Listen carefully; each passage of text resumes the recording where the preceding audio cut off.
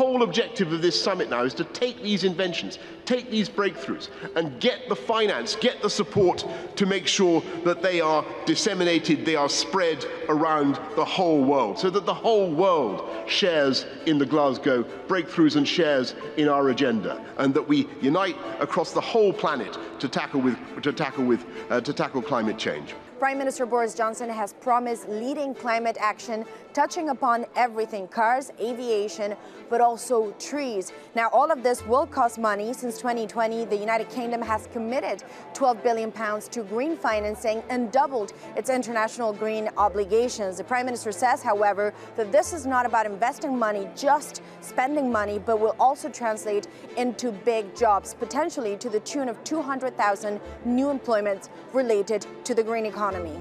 We want to remain one of the most open places to do business anywhere in the world. We want to be on the leading edge of technological adoption. And importantly, we want to be a leader in green finance. As a host country, the UK has made saving and protecting trees one of its top priorities. In fact, the Prime Minister says he wants to see an end to deforestation by 2030. The UK is one of the least wooded countries in Europe. If you look at the details, only 2% of its landmass is protected and covered by ancient forests. Now, a lot of the global attention does tend to focus on places like the Amazon rainforest, but the Prime Minister says the ambition needs to go beyond that, and we should protect all forests, all trees, everywhere.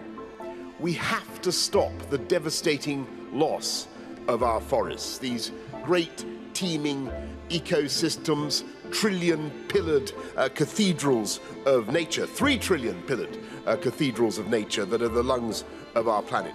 Still, the UK government is being called out by what some say is a double standard when it comes to climate. It recently lowered the price of plane tickets, which critics argue will encourage people to use aviation and not trains. It is also considering a new oil field in the North Sea that could see 800 million barrels being pumped out. Despite all of this, however, the UK government insists it will hit its climate targets, reaching net zero by 2050 uh, we need to keep 1.5 alive. We need to restrict the growth in temperatures to 1.5 uh, degrees by the end of the century.